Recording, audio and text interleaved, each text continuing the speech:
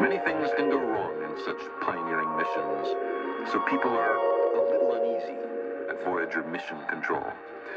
Jupiter is surrounded by a shell of invisible but extremely dangerous high-energy charged particles. If Voyager flies too close, its delicate electronics will be fried. A collision with a small boulder in the rings of Jupiter could send the spacecraft tumbling wildly out of control. Its antenna unable to find the Earth.